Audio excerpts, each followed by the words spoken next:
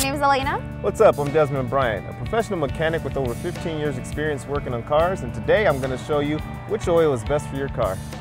So here are two types of oil we picked up from AutoZone. This one here is completely synthetic, and this one is regular crude oil.